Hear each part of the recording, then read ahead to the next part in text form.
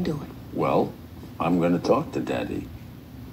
Let your light shine before others that they may see your good deeds and glorify your Father in heaven. Gospel of Matthew, chapter 5.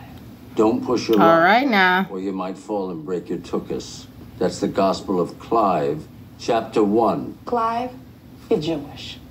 So was Jesus. At least on his mother's side.